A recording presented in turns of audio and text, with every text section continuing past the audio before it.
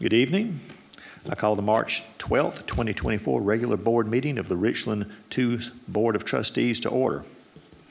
The agenda for tonight's meeting has been published and made available publicly. May I please have a motion regarding the approval of the agenda?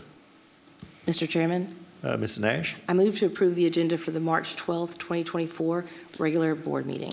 is there a second? Second. Motion has been made by Mrs. Nash, seconded by Mrs. Agostini. Is there any discussion?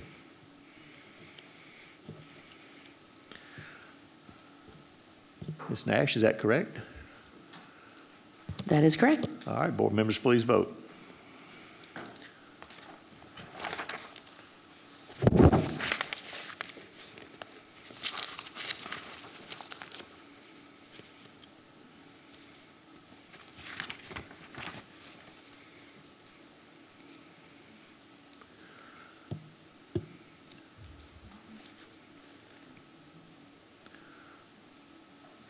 Vote is seven yes, zero no. The motion carries. We'll move on to item 4.1, 4.1, executive session. May I please have a motion to go into executive session? Mr. Chair, Mrs. Washington. I move to convene an executive session for the purpose of discussing student appeals, student admission requests into the district's adult ed program, contractual matter regarding school property, personnel matter regarding multi-year contracts, and employment recommendations and certified releases. Is there a second? Second. Motion has been made by Mrs. Mrs. Washington, seconded by Mrs. Agostini to go into executive session. Is there any discussion? Is that correct on the screen, Ms. Washington? All right, board members, please vote.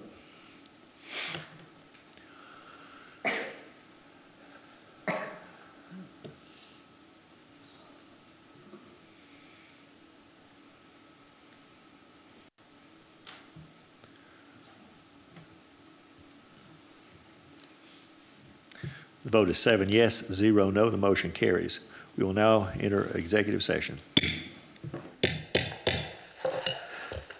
May I have a motion to end executive session? Mr. Chair, Ms. Agostini, I move that we adjourn executive session at 7:02 PM. is there a second?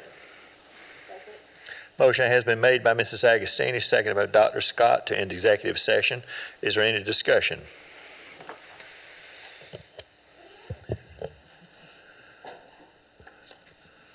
All right, board members, please vote.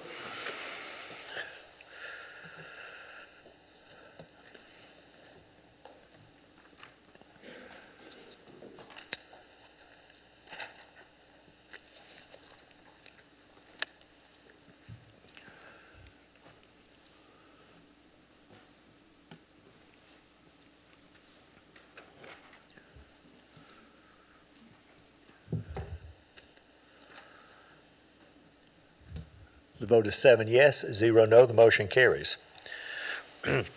We will now move on to the inspirational moment and Pledge of Allegiance. Mrs. Tamika Washington will introduce tonight's guest. Good evening. Tonight, I'd like to welcome my special guest from Center from Inquiry, Faith Washington, under the leadership of Dr. White Cotton, and from Bridge Creek Elementary School, Hannah Jones, under the leadership of Principal Robinson. They will present our inspirational moment in honor of Women's History.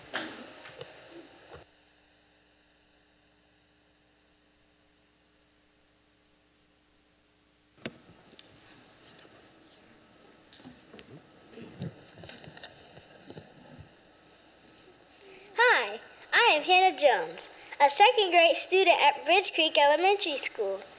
And this is my friend, Faith Washington, a kindergartner at Center for Inquiry. It's a special time called Women's History Month, and we want to celebrate some amazing women in Richland 2.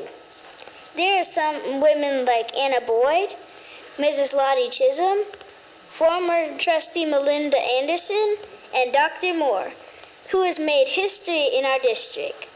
We also want to acknowledge all of the, the women serving on the board and working for Richland 2. Can you please stand up so we can celebrate you?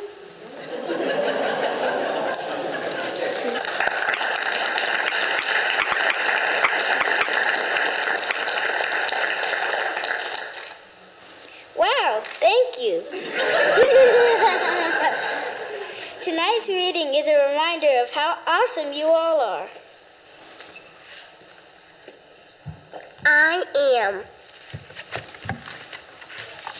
I am. I am beautiful. I am brave. I am capable. I am smart. I am creative. I am kind. I am talented. I am blessed. I am loved.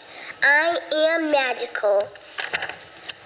I am important. I am joyful. I am confident. I am forgiving. I am amazing. I believe in myself. I am e- enough. I am me. The end. Oh, Hannah. You ready?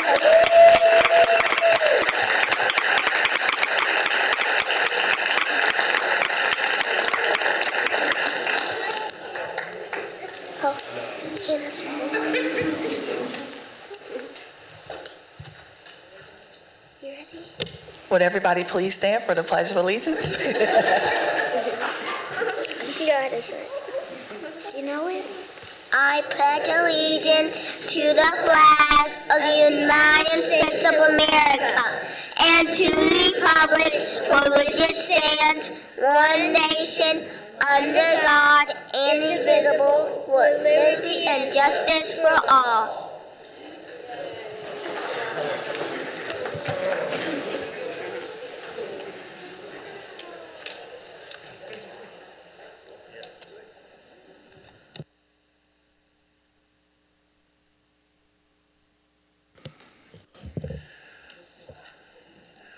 Well, I am grateful you guys came out and, and presented that to us tonight. That was great. Thank you. We'll now move on to item 6.1. May I please have a motion regarding the approval of the consent agenda? Mr. Chair, Ms. Washington, I move to approve the consent agenda for the March 12, 2024 regular board meeting. is there a second? Second. Is that Mrs. Porter? Thank you. Motion has been made by Mrs. Washington, seconded by Mrs. Porter, uh, to approve the agenda, or approve the uh, consent agenda. Is there any discussion? Is that correct on the screen, Ms. Washington?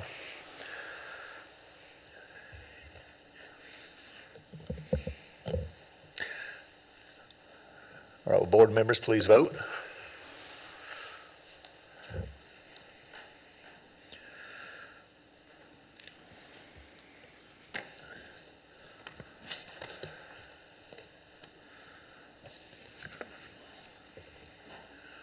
Vote is seven yes, zero no. The motion carries. We will now move on to public participation. I have two individuals have- that have signed up to address the board tonight. You'll be given three minutes to address the board. To assist with timing, the lights on the table in front of me will change colors from green to yellow to red. When you have 30 seconds remaining, the light will turn yellow. When your time is up, the light will turn red, and you will hear an audible tone indicating your time to speak has expired. Before we begin, I will remind you that our meetings are live, are streamed live and recorded. According to policy BEDH, comments from the public should not include gossip, defamatory words, or abusive and vulgar language. The policy also prohibits in public session any expression of personal complaints about individual school personnel or any other person connected with the school system. Specific student or personnel issues should be handled through the appropriate procedures as indicated in the district policy. Questions asked during public participation typically will be referred to a staff member for a response at a later time. Our first speaker tonight will be Ethan Lopez.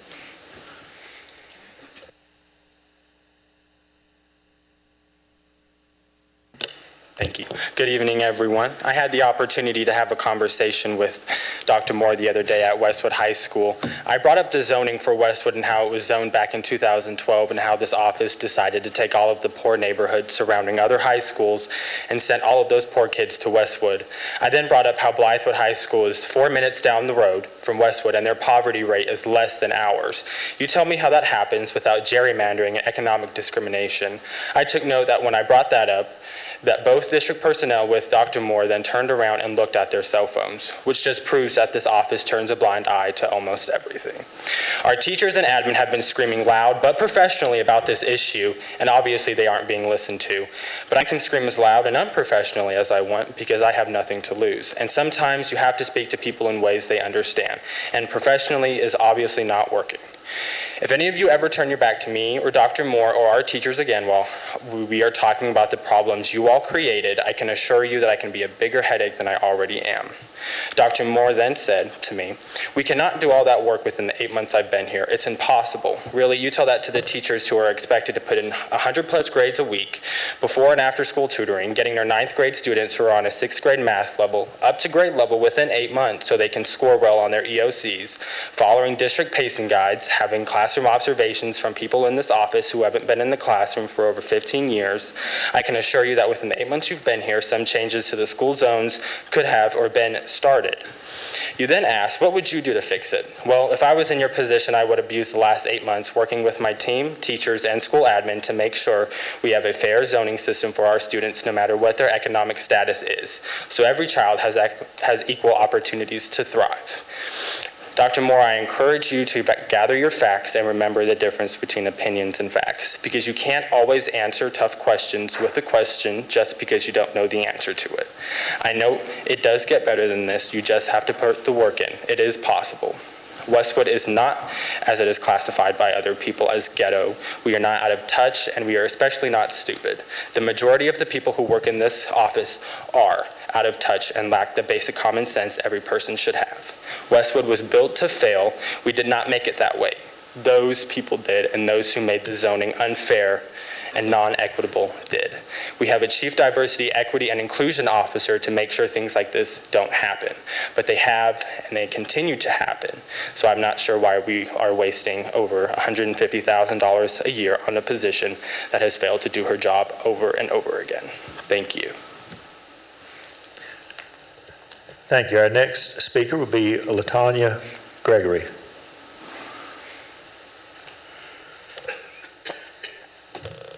Good evening, board members and superintendent. My name is Dr. Latanya Gregory. I am a third grade teacher at Rice Creek Elementary.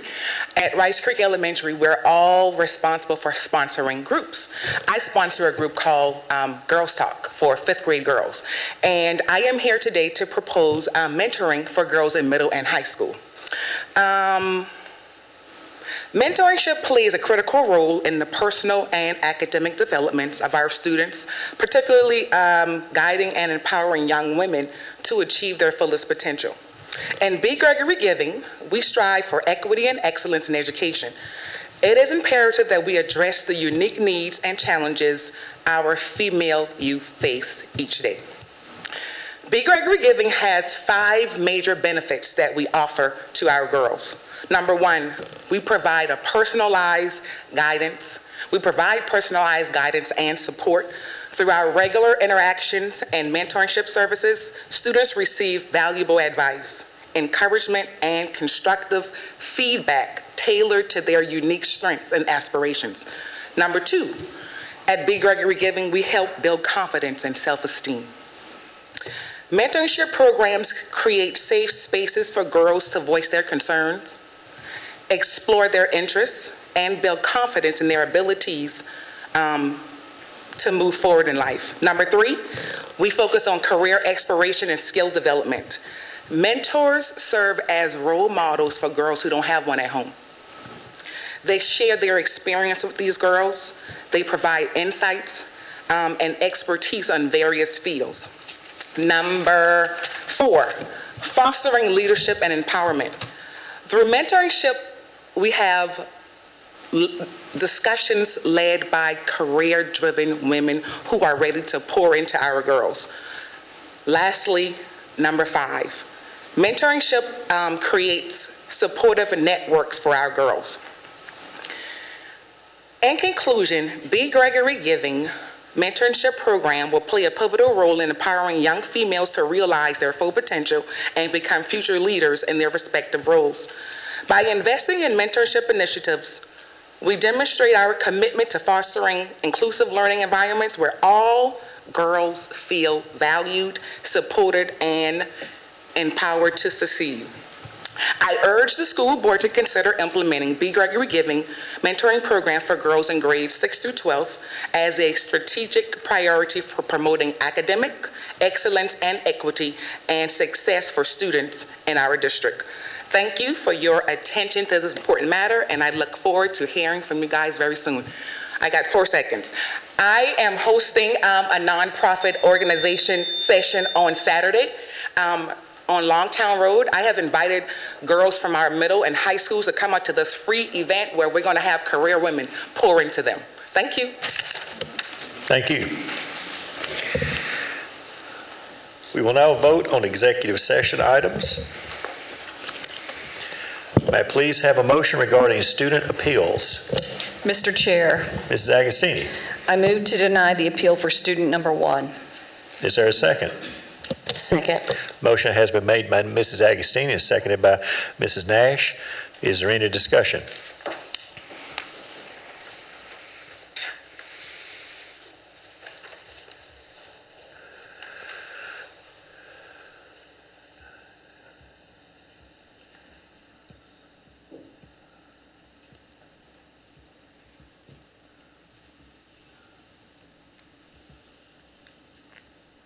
Ms. Agostini, is that correct? That says students one and two, did you say?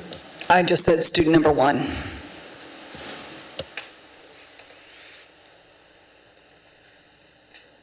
All right, is that correct? That is correct. All right, board members, please vote.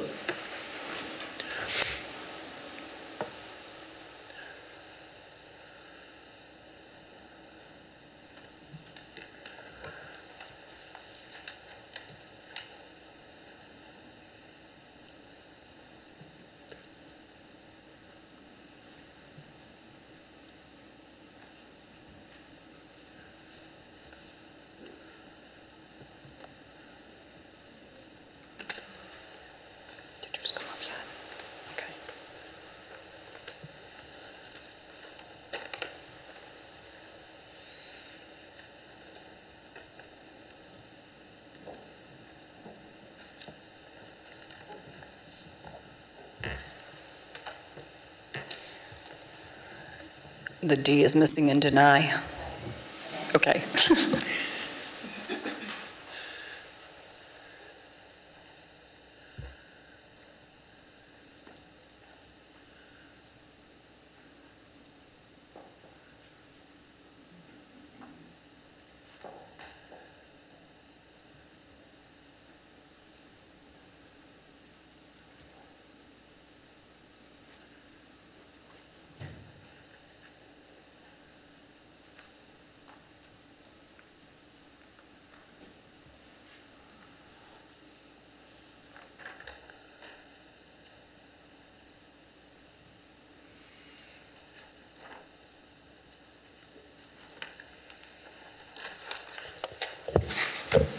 All right, the vote is five yes, two no, the motion carries.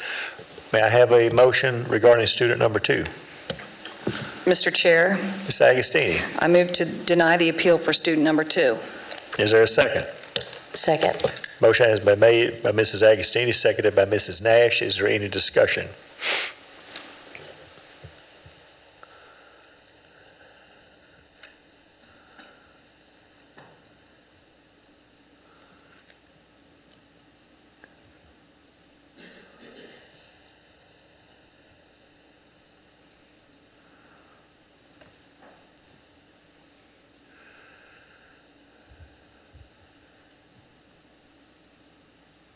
Is that correct, Ms. Agostini? That is correct. All right, board members, please vote.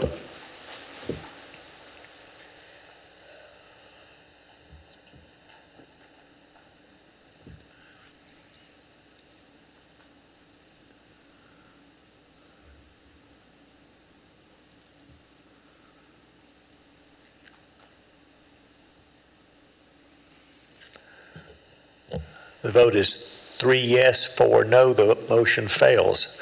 May I please have a motion regarding student number two? Mr. Chair, Uh, Dr. Scott? I move to, um, for student number two to attend Blythewood Academy for the remainder of the school year. Is there a second? Second. Motion has been made by Dr. Scott, seconded by Mrs. Nash. Is there any discussion?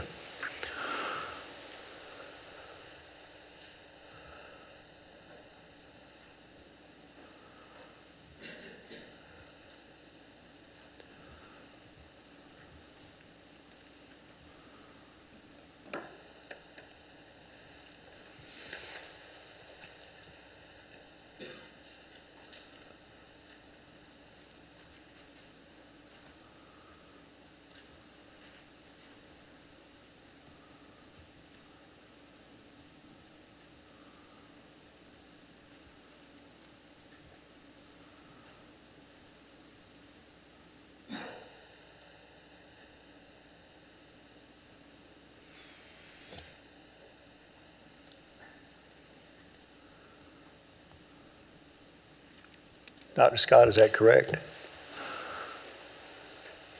That's correct. All right, board members, please vote.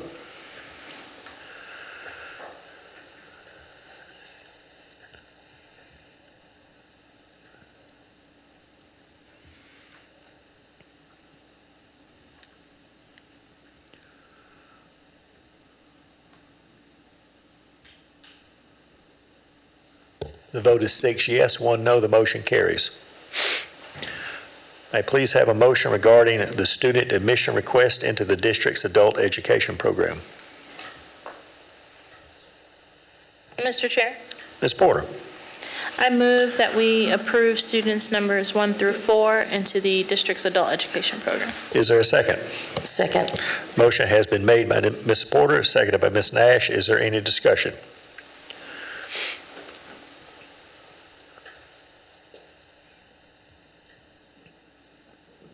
Ms. Porter, is that correct on the screen? Sir, Board members, please vote.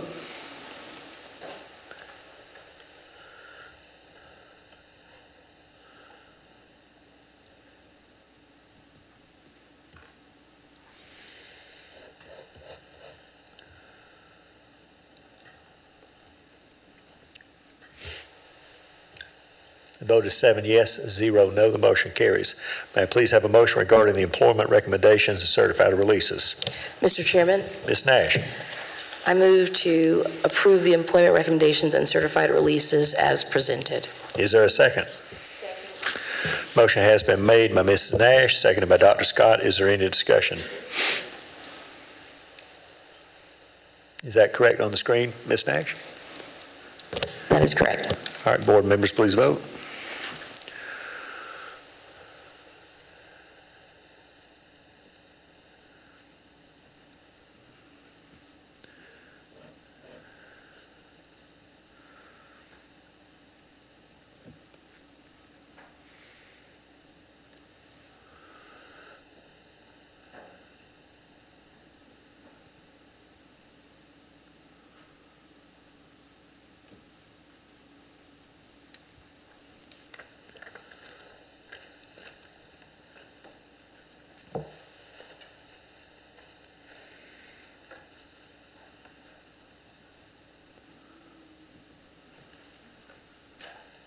Vote is seven yes, zero no. The motion carries.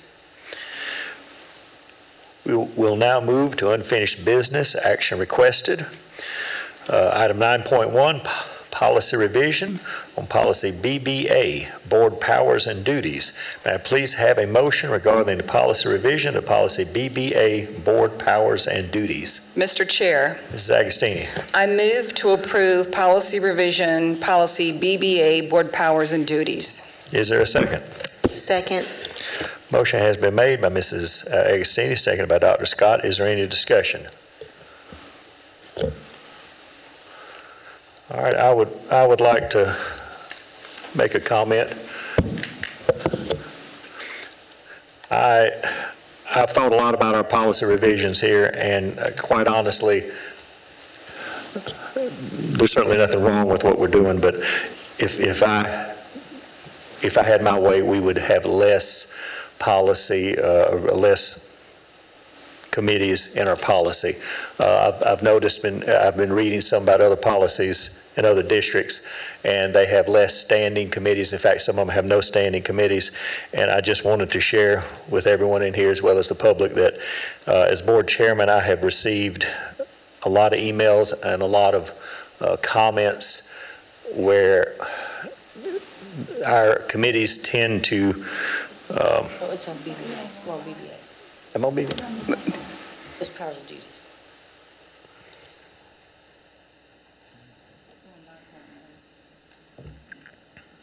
Okay. Hang on. It, pl- please, uh, I'll be 60 this year, so please allow me just a moment to have a senior moment. I tell you what, let's all forget the last minute happened. It never happened, okay? A motion has been made by Mrs. Agostini and seconded by Dr. Scott. Okay. This is on visiting schools and stuff, isn't it? Okay, okay. I do the best with the brain I have, I'm sorry. Now, okay, any discussion other than, like I said, the last minute never happened? All right. That is correct on the screen, Ms. Agostini, is that correct? It is. Okay, board members, please vote.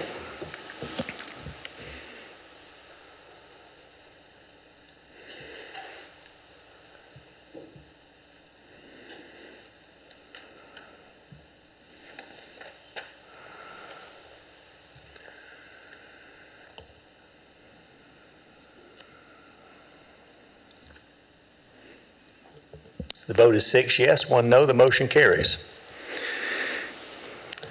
We'll move to items 9.2, Proposed Comprehensive Health Education Advisory Committee. May I please have a motion regarding the proposed Comprehensive Health Education Advisory Committee? Mr. Chair, Ms. Agostini, I move to approve the proposed Comprehensive Health Education Advisory Committee. is there a second? Second. Is that Ms. Porter? Okay, thank you. All right, motion has been made by Mrs. Agostini, seconded by Ms. Porter uh, to approve the committee. Is there any discussion? Mr. Chairman? Ms. Nash? Um, I have, still have great concern um, with the list that we have, not because any of these people are not qualified, but part of the reason the legislator put the comment in there that the board should, should, may be the ones to choose this committee is because we were voted in to be the voices for the people that we speak for, our constituents. And not having members who are parents not associated with the district, um, I think is a big problem for me because we don't have an outside voice. And again, while I believe all of these people are qualified, I think there are some misses on here. And as a board, we are supposed to be handling a lot of things, and we've all talked about it, that we weren't going to delegate um, everything to administration. And for something like a health advisory board that directly affects our constituents, their students, our students, their children, we really should have a voice, more of a voice in voting on this. And so for that reason, I won't be supporting this tonight. Thank you, Ms. Nash. Is there any other discussion? Mr. Chair? Ms. uh, Ms. McFadden? Um, yes, so I did send the, um, an email to all of my board members, so I'd just like to stick to my script and say, I would like to begin by stating that I do not know many of the people that were selected to be on this committee. So my efforts are not to direct opposition to the person selected, um, but as it relates to board duties. In the past, policies have been made that shift the responsibilities and duties of the board to the administrative staff. This committee is one such of those responsibilities. In the, the defense of uh, the staff and Ms. Gregory, she stated at our, um, our board workshop last week that this is a practice that has been done in the district for some time now. However, our board norm states that we're not going to continue to do things just because that's the way they've always been done. With the concerns about library books, instructional materials, and gender identity being at the forefront of discussions, I believe that this is a great opportunity for the board to be involved in the process of selecting committee members to serve on the Comprehensive Health Education Adv- Advisory Committee that will have the opportunity to select the curriculum for our fourth and fifth graders as it pertains to puberty, hormones, sexual activities, and growth during their adolescent years of development.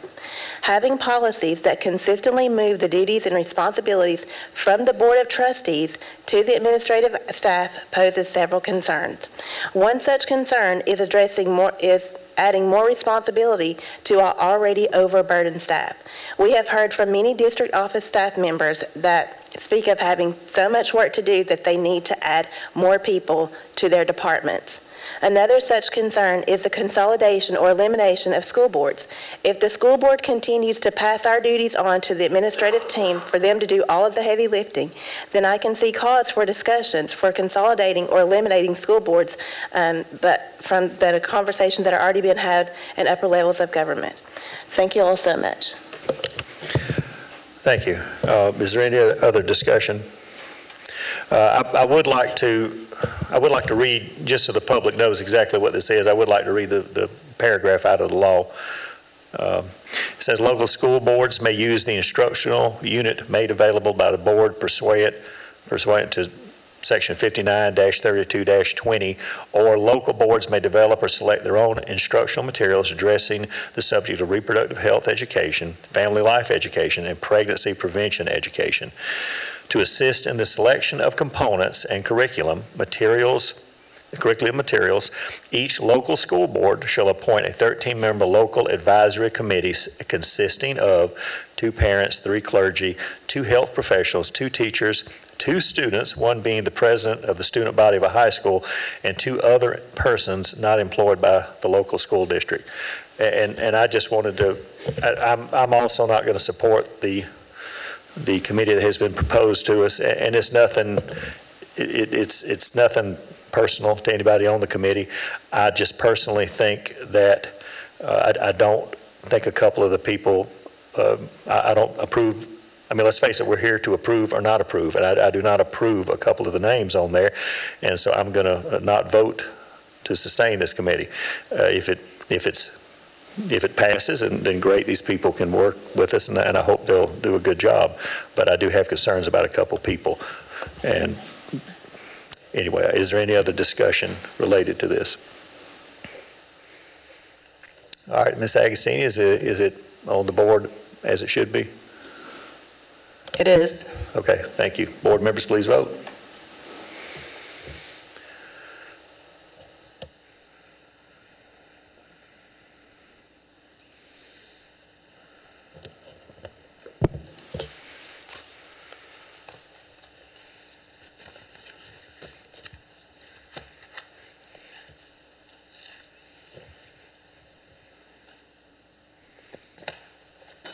The vote is four yes, three no, the motion carries.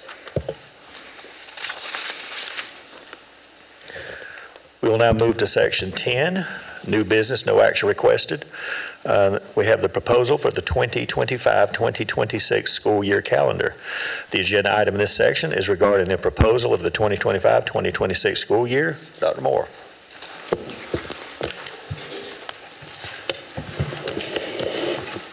Thank you, Mr. Chair.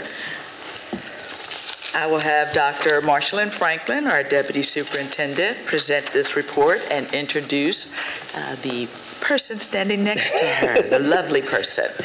Thank you, Dr. Moore. And we do acknowledge we're not nearly as adorable as the previous two young ladies that stood here. So thank you for bearing with us. Maybe if you stand on the stool. And so I um, stand tonight to present to the board the work of our district calendar committee. The calendar committee consisted of student, parent, and employee representatives. Please, uh, joining me tonight uh, in this presentation is Ms. Kiana Keels, one of our parent representatives on the committee. Other members of the committee are also present tonight. If they would stand, we have three here. One of our students, one of our classified um, employees, and one of our teachers. So thank you for serving on the committee and for being here tonight. So as an ex officio member of the committee, I guided the process but had no decision-making power. What is being shared with you tonight is indeed the work of the calendar committee. To get the development of the calendar um, process underway, committee members were tasked to create draft calendars based on specified um, criteria. And so the guidelines listed on the screen there were criteria that were expected to be a part of all of the draft calendars.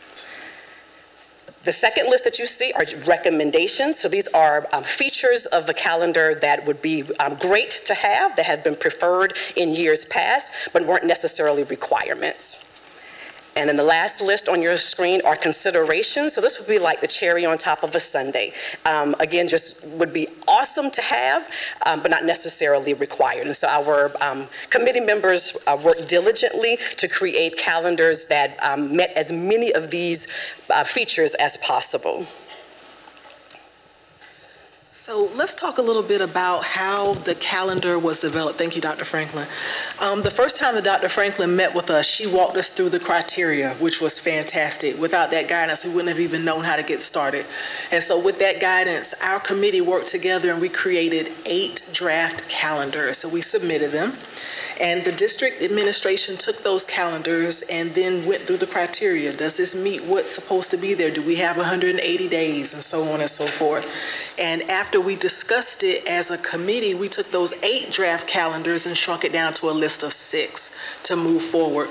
And this is my favorite part of it is when we took the calendars and gave it back to the community, back to the stakeholders. You know, I, there were 15 of us meeting in the room, but this went out to groups, our, our people who are involved in our district, like our classified staff advisory council, our parent advisory council, our teacher forum, our principals, our assistant principal council, and the superintendent's cabinet. And so they let us know how they felt about those six calendars. And that was crucial for us to be able to move forward. From there, we were able to take their feedback and make adjustments. You know, maybe this date got shifted to that date or um, this work date got moved to later in the calendar. We went based on what we were hearing from our community. And we took those six calendars and shrunk it down to three. Those three calendars were then shared with our parents and our employees in the district by email. And that group of people then voted on the calendar of their choice. So on the screen um, are the results of the voting. So we had 20, I'm sorry, 2,925 um, votes submitted. The percentages listed represent the responders who fall into the designated group. For example, of the 2,925 responders, 35% of them were employees. As mentioned earlier, survey participants were given three calendar options, calendars A, B, and C. The most significant difference between the three calendars was that calendar B had six teacher work days before the start of the school year and an extended long weekend in March, and calendar C has a week-long Thanksgiving break. Here you see the outcome of voting overall, as well as the outcome by group. So you'll notice that calendar C was the preferred calendar among each group. So it was the preferred calendar among employees, among parents, as well as that group of em employee who are both parents and employees. And it was the preferred calendar overall. It is customary that district administration proposes just one calendar to the school board for consideration. And based on the outcome of the calendar development process, it is the recommendation of district administration that the board approves the calendar that received the most votes, which is calendar C. Ms. Keels will um, tell you about the features of calendar C as it is the calendar she created as a member of the district calendar committee. Thank you, Dr. Franklin. So the calendar that we're proposing to you starts the first day of school for students on a Wednesday. We knew that that was something that was very important to our community members to start midweek. The least preferred day to start the school year is on Monday. Um, calendar C has a nice long weekend in October, which can serve as sort of like a fall break. It's certainly when my personal children will want to go to the state fair. Uh, calendar C has, like Dr. Franklin mentioned, a week-long Thanksgiving break. Um, gosh, I love a, a week-long Thanksgiving break. When that's consistent with this year's calendar, um, Next Next year's year's calendar, thank you. Next year's calendar, which also has a week-long Thanksgiving break, amazing. And um, when the students return from winter break, there's going to be a work day before they return. And that's really important. Um, As a former teacher in the district, we really, really needed that day to get planning done, to switch over from first semester, to print out new schedules. I mean, that's just critical. And the school year ends for students before Memorial Day. Love it. And we wanted to make sure we honor that Memorial Day weekend, which is why the teacher work day following the student's last day is that Tuesday, so that employees get the full Memorial Day weekend before returning to close out the year. Mr. Chair, that concludes the presentation of the 2025-2026 school year calendar. Okay, thank you both. Uh, Board members, is there any questions at this point about the calendar? No questions, just a comment. Thank you guys for taking the time to get this calendar.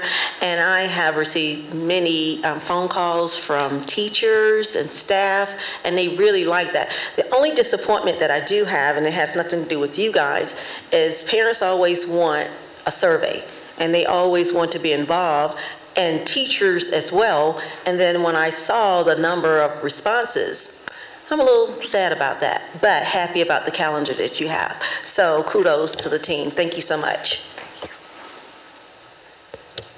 All right, well, thank, thank you, guys.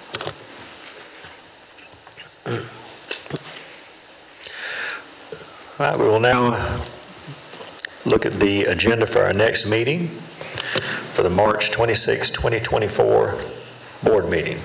Dr. Moore. Thank you, Mr. Chair. The next board meeting will be March 26, 2024. We will once again have a public input session for the budget that will begin at 5 p.m. The regular scheduled board meeting for business items will be called to order at 5:30 p.m. And then we will move to executive, um, we'll call to order, then we'll have approval of the agenda and move to executive session.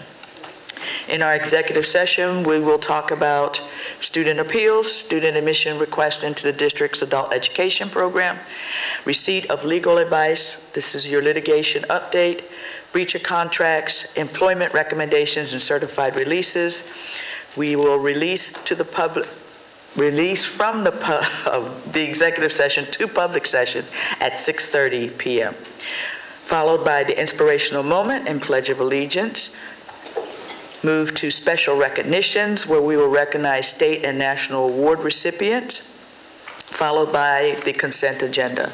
We will have approval of the consent agenda, which will include approval of minutes from previous meetings, classified employment releases and in-district transfers, local board-approved courses for 2024-2025, and our English language arts textbook adoption, grades 6 through 12 followed by public participation.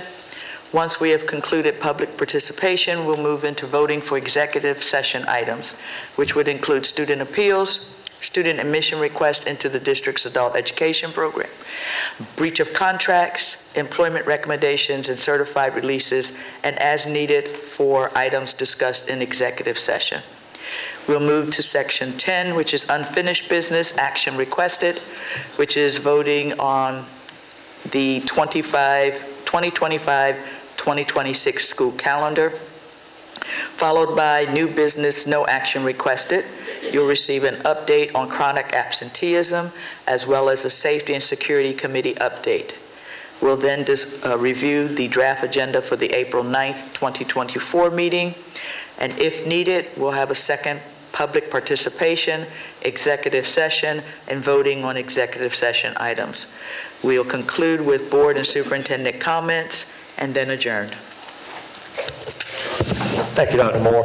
Uh, Dr. Moore, we need to add tonight's uh, item 4.5 in the executive session. We need to add that to next meeting's executive session. Board members, are there any revisions or additions other than what I just mentioned that you would like to see added to the March 26, 2024 agenda or to a future agenda?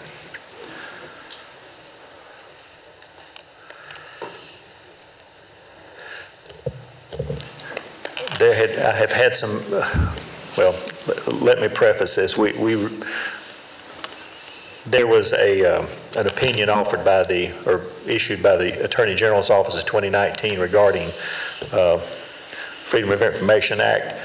Uh, And, and we have decided that, that we should do things a little differently here after reading this opinion. And one of the things is we will be noticing uh, meetings that we may have, we may not have noticed in the past because we believe the spirit of that law uh, requires us to do that. And our agenda planning meeting is one of those meetings that we're concerned about having uh, that's not noticed. I've talked with Dr. Moore about this, and we will, we are not planning to have agenda planning meetings in the near future. This is our agenda planning meeting. So if there's things you would like to see added to the agenda, uh, tonight would be the night to add those things to it. Mr. Chair. Mrs. Agostini? Yeah, I, I I would strongly discourage that from happening. While I appreciate it, I'm, I'm quite sure that there are things that are going to be coming up between now and the time that you have the agenda-setting meeting. So um, I, I appreciate your words, but that's my input. Well, I, I appreciate that, but I would like to point out that this meeting was going to be tomorrow. We've changed, we've moved the meetings up to the Wednesday after the board meeting. And under those circumstances, we had decided to do that a couple weeks ago so that we could get the information to board members quicker.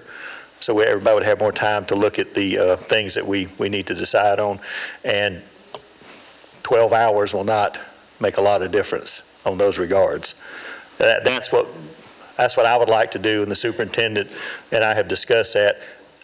I, I don't, board policy doesn't uh, specify that we have that meeting. It does specify, uh, we changed it to include others in the meeting, in, if we have the meeting, but it doesn't say we have to have the meeting. Um, But, but that, that's, anyway, a- a- any, I have a any thoughts? question then. Yes, ma'am. So based upon that, what's decided at the board meeting tonight for our draft agenda, there'll be no variance then in two weeks when we come? That is not necessarily true, just like last week, uh, one week ago, when we had our board workshop, we decided at that workshop to go ahead and add uh, the item tonight on the uh, Health Advisory Committee because we felt it was, it was a timely matter and we needed to have it. Things do come up, and we will be adding those appropriately. And there's still three ways between now and the next agenda, or the next board meeting to add things. Uh, well, tonight, a motion can be made to add something. Uh, If, if three individuals email the superintendent, uh, those items get added to a future agenda. So there, there are ways to, to get. And, and at the next meeting, uh, if it's an emergency situation, it can be added uh, when we approve the agenda. Mr. Chair. All right, I had both, both, and Dr. Scott, did you, were you one of the voices? Yes. Yes, Just please want go to say, um, what made you guys to come, come up with this decision with not having a conversation with the entire board?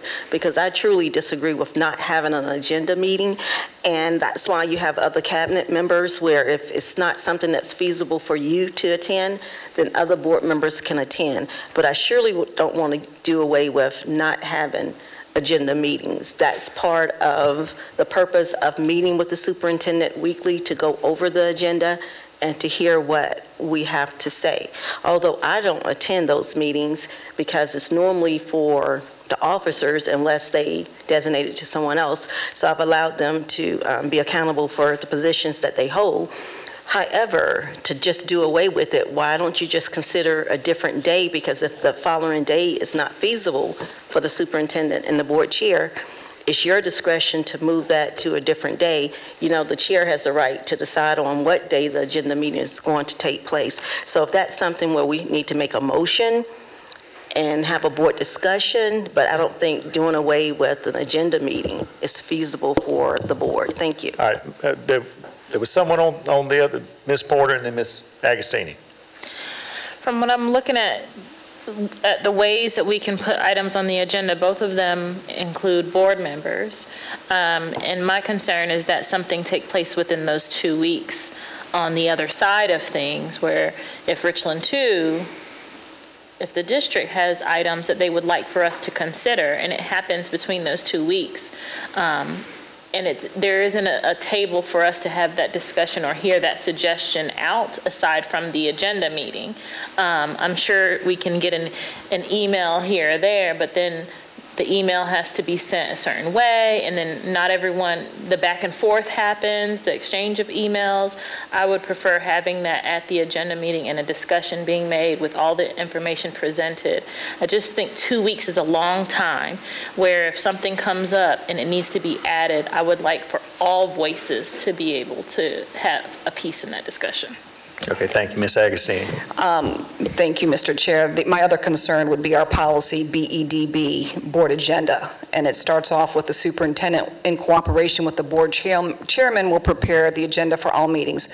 One or more additional board members may attend each agenda-setting meeting so long as there is no quorum.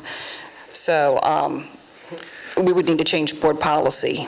I, I, I will not disagree with that. The one thing, though, that I, and, and anybody in the public that would like to read this eight-page um, opinion by the Attorney General's office, it's dated August 26th, 2019, and it was uh, issued to Richland School District 1. So if you Google those words, the first hit will be this, this uh, opinion. And in this opinion, after discussing it with uh, Dr. Moore, I'm of the opinion that a agenda planning meeting, regardless if it's a quorum or not, needs to be noticed. So having said that, we cannot have the meeting in the morning because we don't have 24 hours to notice it. And we will need to move the meeting down here. I- uh, Dr. Moore, will you be available sometime Thursday morning for us to have this meeting? And, and, and Mr. Chair, can I just add something? Yes, I, Dr. I Scott. just want to, gosh, okay, I just want to remind everyone that a school board meeting is that, a school board meeting. We decide what we're going to do and when we're going to have these meetings, and the superintendent calendar it should be in line with the agenda planning date that we, as the board, come up with. So what I would suggest, because it's late notice if Dr. Moore has something on her calendar for Thursday, we're not going to ask her now, this short notice, to just change it. But my suggestion would be that you and Dr. Moore get together and decide that you're going to have agenda meetings every Thursday or every Friday following the school board meeting meeting and the time. Because what we're not going to do, and I did say what we're not going to do, or what we ain't going to do, is sit here and work around the superintendent's calendar when we are the board and these are our board meetings. Thank you. Thank you. I, I would like to share a few items of information that I think will be relevant. We had talked about, in fact, before I was board chair, and those in the room that, that, if I'm wrong, please correct me, I'm almost certain that we had the agenda planning meeting the Wednesday after the board meeting.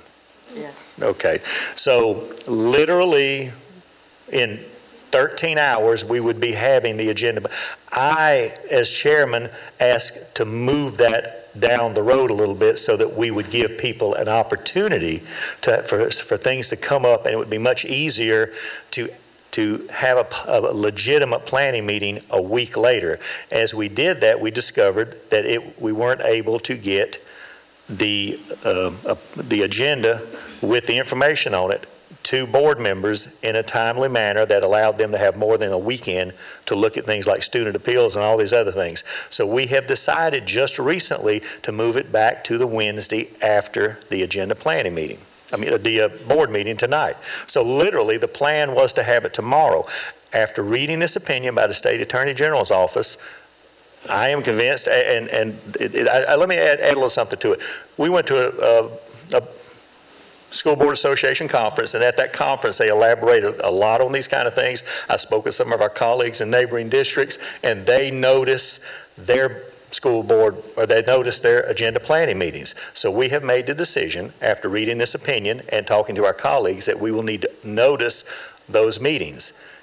Well, if we, if we, we can't do the meeting tomorrow like was originally planned, because it's not 24 hours to notice it. So that, that that keeps us from doing what we had planned to do. So we, we have to work out something with the superintendent and her schedule. Mr. Chair. That Ms. Agostini. Well, with all due respect, you had that um, opinion from the uh, AG last week is when you forwarded it to me, so there would have been plenty of time to do notification. I, at this point, would respectfully request that um, you and the superintendent exchange emails to find a convenient time for the two of you to meet and extend the invitation to the rest of the board, and then revisit how we're going to proceed. I would continue to like to see it the Wednesday morning afterwards. You all pick a day, let the board know, and then let's move forward. I- Thank you, Ms. Agostini. I would like to ask a question of the members of the board. What, what do you as individuals think will change between right now and 9 o'clock tomorrow morning? Uh, And I- I'm just asking a legitimate question. I cannot think of anything that would change to where we, we would do something different with the agenda. But, but regardless, we will, we will have a meeting. Me and, me and Dr. Moore will come up with a plan, a date as soon as possible so that we can have it and get the agenda to everyone for them to be able to look at student appeals, contractual matters, and whatever else is on the executive session, as well as any presentations anyone would like to look at. Mr. Chair? Uh, Ms. Washington. Um, Thank you so much. Um, I don't think it's, um, I don't think the issue is doing it tomorrow, because of course, we understand the notice part. Um, But I do think in continuing the tradition that has already been set and that we have allowed to happen in the past, if we just give the notice um, to the public um, for whatever date is selected. And the current um, draft is, is done. I don't think anybody else wants any additional things added, but if something should come up, um, you and Dr. Moore would need to share that information with the board, as always. But I would like to see going forward, even if we have to go back to this in April, that we do put those meetings back on, because it does give other board members a chance to have their voice and to be able to share. And that's something that we talked about with the last previous chair. Um, And so I do think it is a, it's a good idea for us to keep that up. And then in June, the board can decide if they would like to do something different. Thank you. Thank you. All right, we will now move on Chair? to, oh, Before we go Oh, on, I I did want to add McFadden. something to the agenda. Oh, okay. So um, we already have our 2024 SCSBA legislative solutions that have hit um, the website, so I would like to add that to our agenda meeting because what we need to do is we have that Class 3 officer proposition that we sent last year dur- during our delegate assembly.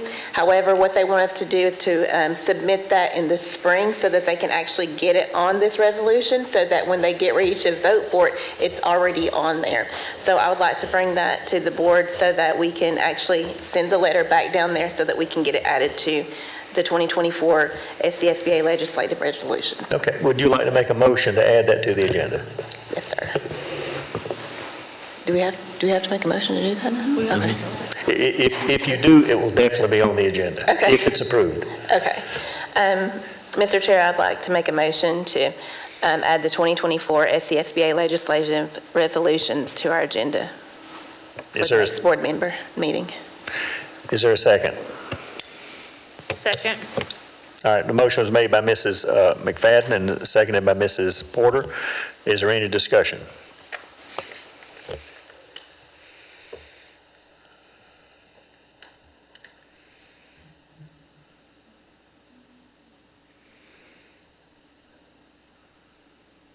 Mr. Chair, I do have one question. Yes, Ms. Washington. Um, May I please ask a clarifying question to Ms. McFadden? Um, Can you just clarify, are, you- we're just going to, we're just going to vote to give you, give you permission to submit that to the School Board Association? We're not voting on all the, uh, we're not talking about all the other things, just on that one item?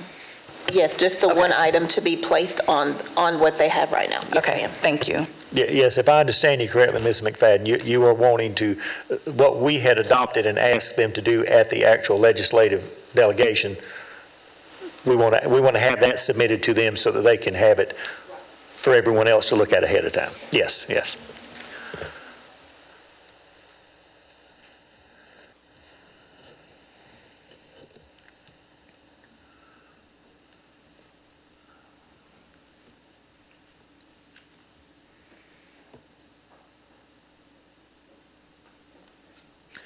All right, Ms. McFadden, is that, uh, let's see. It doesn't specify what, it doesn't specify what she's, she's asking for the class three. I believe your motion needs to mention the Class 3 officer So- legislation. Yes, sir. So what I would like to do is have that on there, and so when we get to that portion, then that will be an action item to vote on what I'm going to bring, which is the same sheet. So that's why I want to add the resolution to it. Just basically reference the class. Yeah, specifically reference that, that item. Okay, um, so I want, I move to add the 2024 SCSBA legislative resolution to the March 26, 24, 26, 2024 agenda with the Class 3 officer proposal.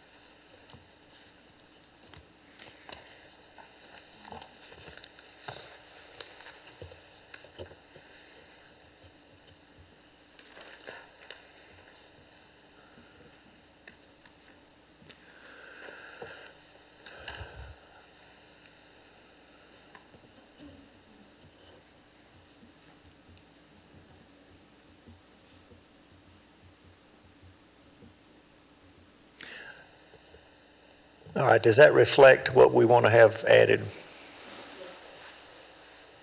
Ms. Porter, is that the motion you seconded? Okay. All right, board members, as soon as my computer comes back up, we can vote. All right, board members, please vote.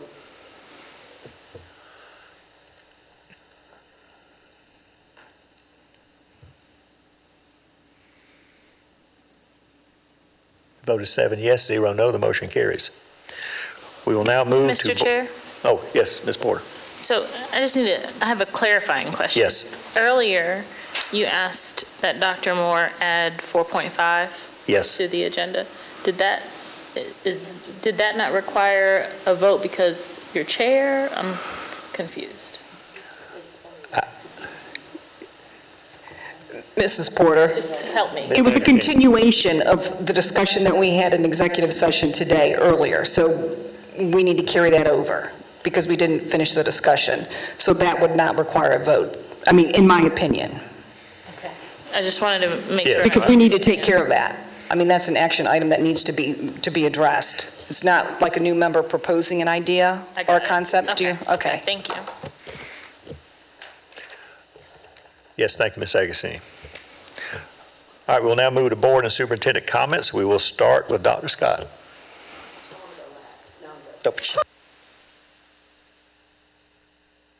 But anyway, um, thank you guys. I'm just excited that we're getting out early, so I guess my little um, tantrum last week worked. So, see what happens when you, no, I'm just joking. So, first I want to say thank you to the two Sweet Peas. When I don't know your name, I call you Sweet Peas, from I think CFA and Bridge Creek. And I, it reminded me of Mrs. Tagara Charles when she was a kindergarten teacher, and she would always have her students to start off the morning with, I am somebody. So thank you for um, reminding us that we are someone. So thank you for that. Also want to give a shout out to April Morgan, who's one of our teachers, brilliant teachers over at Westwood High School. She and her students won an award with Attendance Matters, the 2023-2024 poster and video contest. So kudos to April Morgan and her wonderful students over there. And also, um, on April 20th, I know this is a long way off, but I want you guys to save the date for Stump Out Crime. And I'm sharing this because I know I'm part of the Safety and Security um, Committee here. And this group, Hush No More, along with um, the City of Columbia and some other partners, are really going to have so many vendors out there and so many activities um, for the students to learn um, safety, school safety, home safety, community safety, and all of that. So if you are available on April 20th, please come out. It will be held from 11 a.m. until 3 p.m. And then the budget meeting. Um, we had a budget meeting at 5 o'clock today, and I receive too many emails about what you guys want us to do with the budget and how much different departments should get more money and we should do this and we should do that.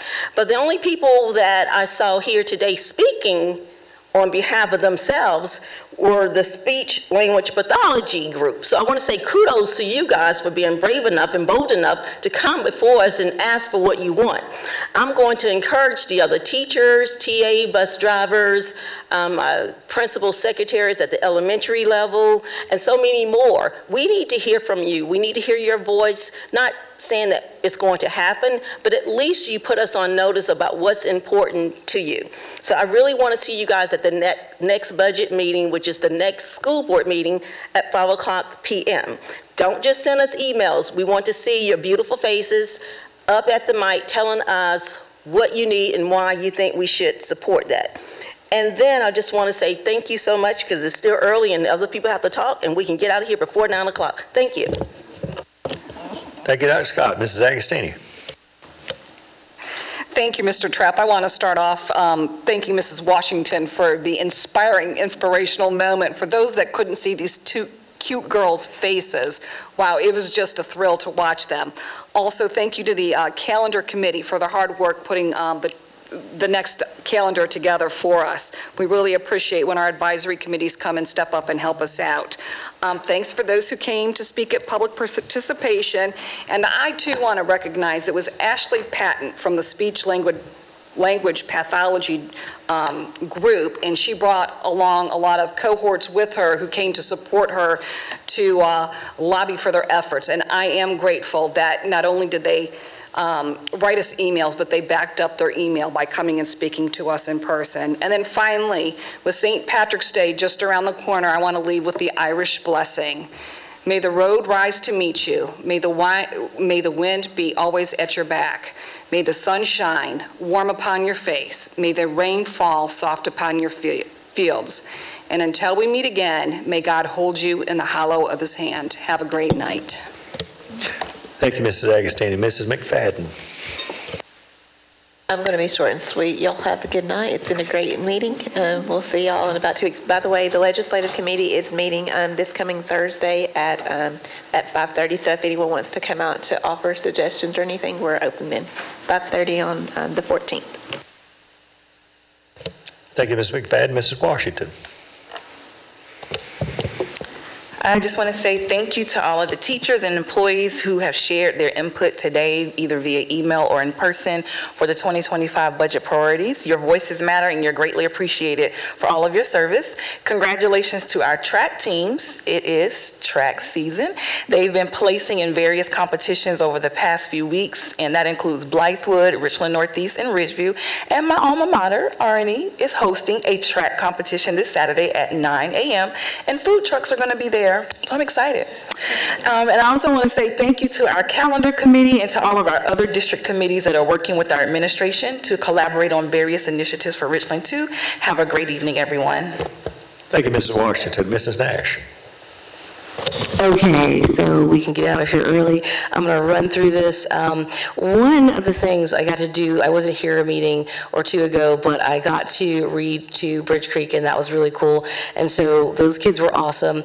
But also, my husband got to go to Sandlapper and do um, men read, real men read, and it was wonderful, and he had a great time. So he wanted me to extend his uh, joy that he had. And a lot of the kids were really shocked when they realized he was the car guy And so that became a whole thing um, and a lot of excitement over at Sandlapper. So thank you all um, for having him there. And then um, it was really cool to see a highlight come through um, about Luther Bells and him being like he's you know from Westwood, and just to see his character continue on. A lot of times you start out in life and then you get out in the real world and things change and you kind of get broken down or just life happens. But it is so good to see his consistency and his character and his convictions and his willingness to give back. He's giving a scholarship, trying to get a scholarship together to give back to Westwood. And I just want to say, commend him on that. Also, Michaela Spencer, thank you so much for being here. I know you don't want to be praised, but I am. She also serves on our Safety and Security Committee, and they have some wonderful ideas, and even just talking about legislation about vaping near schools, they are some of the brightest people on that Safety and Security Committee. And so I just want to thank you for being here tonight for yet another thing, um, but it's really awesome to see you. And everybody else, you all have a wonderful night. Get to bed early. Thank you, Mrs. Nash. Mrs. Porter. Thank you. Um, I want to say Happy Women's History Month, and thank you to our two guests who um, reminded us of that as well. We appreciate you. Also, um, thank you to the Toys or Teacher of the Years that attended the education conversations. It was we had some really great conversations, and they also mentioned some items for the uh, budget season as well, um, and shared how much they appreciate our floaters and our extra monitors within our schools. Um, thank you, ESSER funds. Um, not reoccurring money, as Ms. Nancy would want me to remind everyone.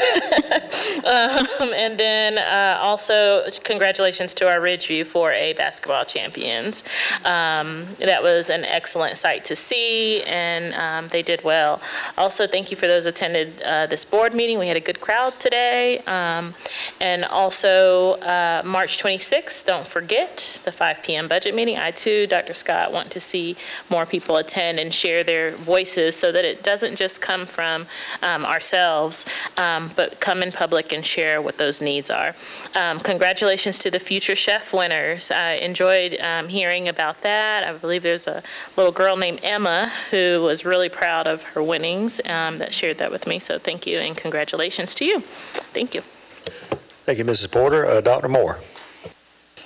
Thank you, Mr. Chair, and a lot of what I wanted to say has already been covered, but I want to ask a question.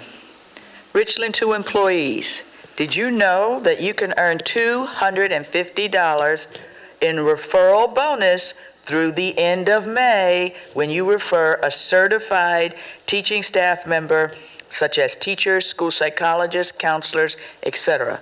Now, when this new employee signs their contract, you get your money. $250 per person.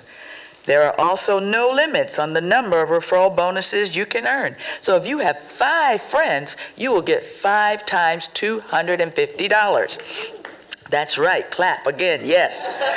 so help us find those great teachers and bring them to Richland 2.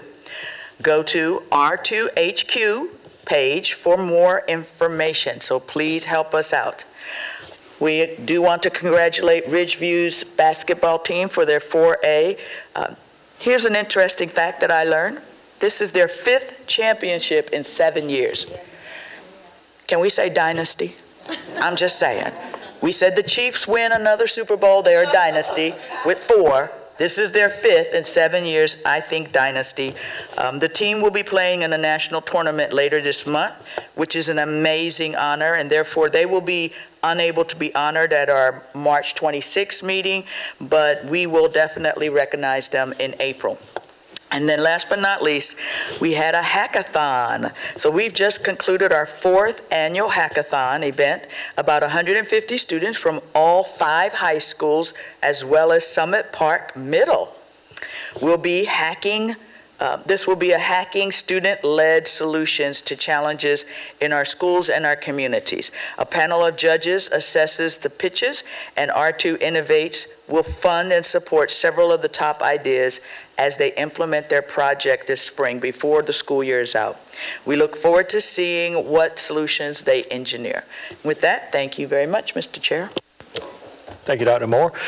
Uh, I, I will be very brief because I'm, I want to get home before Andy Griffith goes off, but um, But I, I would like to apologize for my, uh, just, I, I accessed the wrong file in my brain earlier. It just clicked on the right, wrong icon or something, and I, I apologize for that. The, the only thing I would like to add to what we've done here tonight is, we all didn't agree on everything here tonight, it- but that's okay, because that, we're all here to, to uh, contribute in our own way. We, we need to do what we think is right, and if someone else uh, wins the day, well, that, that, that's okay. We're a team, and I think that's the way it ought to work. And I appreciate all my board members for the, the hard work you do, and uh, for the, for the camaraderie we, we have here. And I just would like to say that, you know, the, obviously, there's some things in the future we're going to have to work on, especially with this information, uh, with our concerns about FOIA and things like that. But uh, we'll, we'll make it work out, and we'll do whatever the board wants to do. And having said that, could I have a motion to adjourn the meeting? Mr. Chair, Ms. Washington, I'd like to make a motion to adjourn the March 12, 2024 board meeting. is there a second? Motion has been made by Mrs. Washington, seconded by Dr. Scott. Is there any discussion? Uh, All those in favor, raise your right hand. It is unanimous. We are adjourned.